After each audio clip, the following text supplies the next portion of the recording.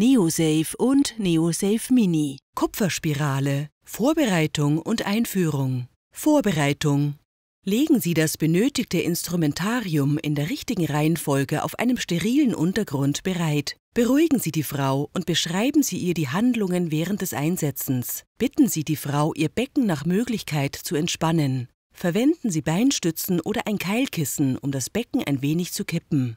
Bestimmen Sie mit Hilfe einer vaginalen Untersuchung die Lage und Größe des Uterus. Bitten Sie die Frau, tief auszuatmen und den Beckenboden zu entspannen und führen Sie dann das Spekulum ein. Achten Sie darauf, dass Sie die Portio gut sehen können und reinigen Sie diese je nach Bedarf mit einem Stück Gase. Stabilisieren Sie den Uterus, indem Sie die Vorderlippe der Portio mit einer Kugelzange anhaken.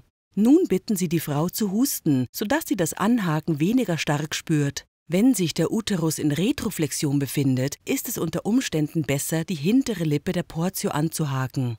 Strecken Sie den Gebärmutterhals durch leichten Zug mit der Kugelzange. Bestimmen Sie mit Hilfe einer Uterussonde die Länge und Richtung des Uterus, bevor Sie die Verpackung öffnen. Wenn das Sondieren nicht gelingt oder schwierig ist, sollten Sie die Frau an einen Gynäkologen verweisen. Einführung. Die Spirale wird mit einem Einführungsrohr und einem Kolben geliefert, sodass sie sich auf einfache Weise in die Gebärmutter einführen lässt. Schritt 1. Vorbereitung. Die sterile Verpackung öffnen.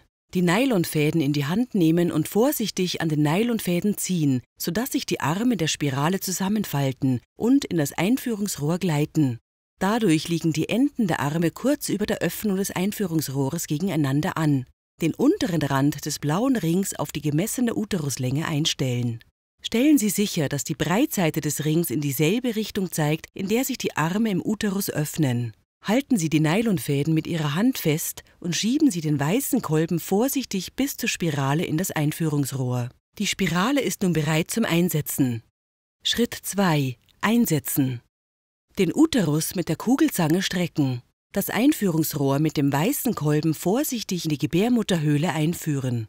Der blaue Ring berührt nun den Gebärmuttermund die Kugelzange auf dem Spekulum ablegen, den Handgriff des weißen Kolbens mit Daumen und Zeigefinger gut festhalten und das Einführungsrohr bis an den Anfang des gerippten Teils am Kolben zurückziehen. Nun entfalten sich die horizontalen Arme im Uterus. Beachten Sie, dass der Abstand zwischen dem blauen Ring und dem Gebärmuttermund jetzt etwa 1,5 cm beträgt. Schieben Sie das Einführungsrohr zusammen mit dem Kolben erneut nach oben, bis der blaue Ring wieder die Portio berührt.